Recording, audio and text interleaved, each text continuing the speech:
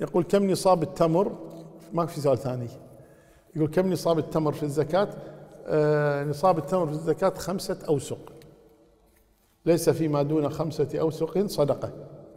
إذا بلغ خمسة أوسق والوسق الواحد ستون صاعا. فخمسة في ستة ثلاثمائة في ستين يعني.